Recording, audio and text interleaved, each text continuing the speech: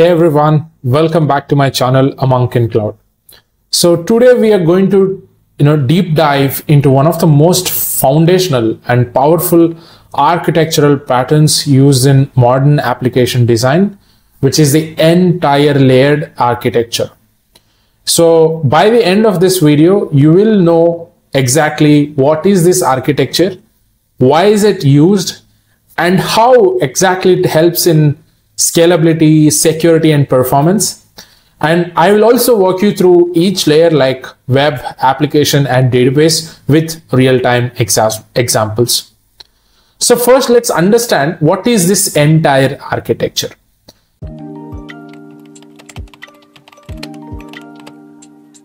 So first things first, n-tier architecture or it's also called as a multi-layered or multi-tier architecture it's about separating your application into multiple logical layers like presentation, business logic, data access, and service layers. So the big idea here is to lose coupling. Basically, each layer is designed to be independent. So changes in one layer do not break the other. And each layer can be scaled individually based on the traffic or the demand that you're going to get. So it's a popular choice in cloud native and enterprise application because it supports scalability, security, elasticity, and it's easy to maintain.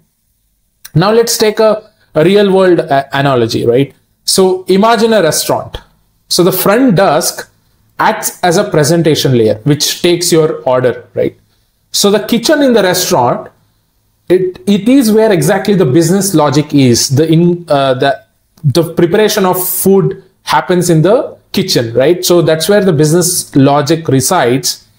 And the storage or the database exactly holds all the ingredients that are required to prepare the uh, food that you order. So everyone here in this setup does their part without interfering each other, right? So now you might ask me, what are the benefits of using this n-tier architecture? Firstly, technology flexibility meaning that you can use different tech stacks in each layer. So uh, you can use React in front end. For example, you can use Node.js in the backend, MySQL database. So whatever the technology you, you want to use, you can go ahead and use it and there is no problem at all. And the second one is independent scalability. As I already told you, you can scale one only the application layer if it's under load without touching the web or database layer. So let's assume that the, there is a high load on the database layer. In that scenario, what you can do, you can exactly in, increase or scale up the database layer alone uh, rather than doing it for all the other layers. And security is very critical. So each layer is isolated. So if one is compromised, the others are always protected basically the web or the front facing tier will be only accessed by the users and the rest of them will be private. Next, faster troubleshooting. Since you have everything layered, it's easier to pinpoint the issue and fix them. Next, improved maintainability. So teams can work on different layers in parallel. So if something happens on one layer, they can exactly go there and start working in that layer. Now that you understand the benefits, let's go deeper into the most common structure that is the tree, tree tier architecture and delve more into it.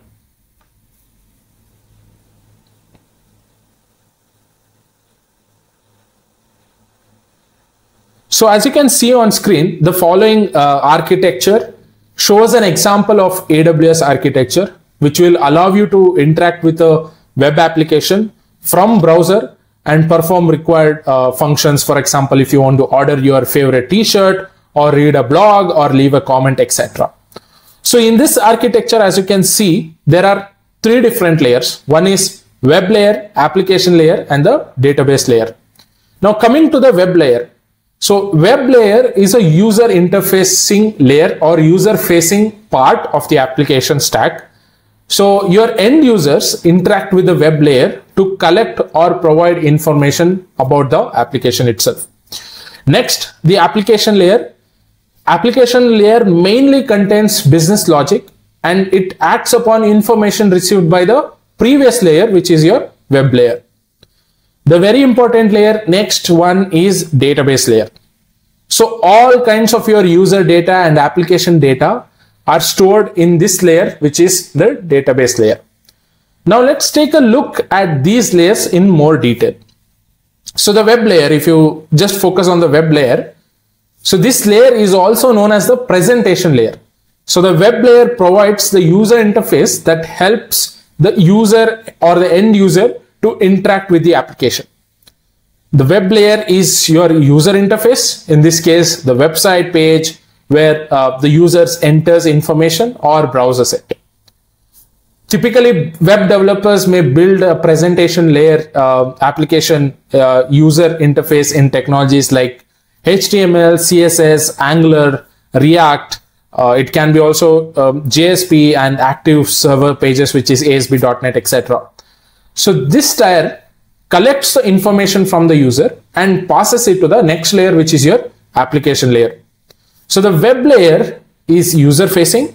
So organizations spend most of their time improving the user experience and many organizations have a dedicated user experience team researching on various areas to understand how users can interact with the applications.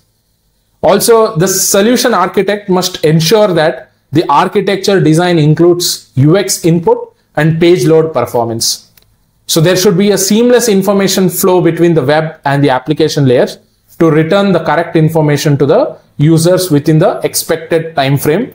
Uh, it can be user login, profile loading, etc. Right? So that's a critical part. So you, you cannot expect a user to wait more than a second uh, waiting for the response. Not even a second, it will be in milliseconds, right? Next very important part is the application layer.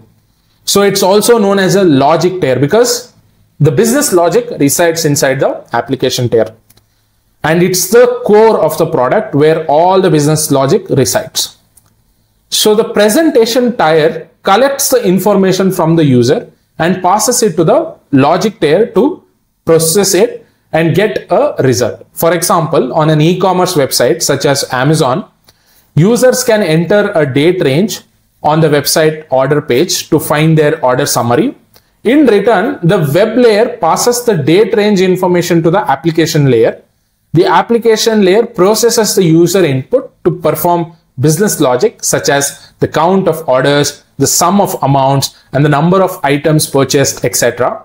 So this return, this returns information to the web layer to render it for the user, right? So generally in a three-tier architecture, all our algorithms and complex logic live in the application tier, including creating a recommendation engine or showing personalized pages to other users as per uh, you know their browsing history etc so you may add a layer such as domain layer data access layer or presentation layer to make uh, you know four or a five tier architecture.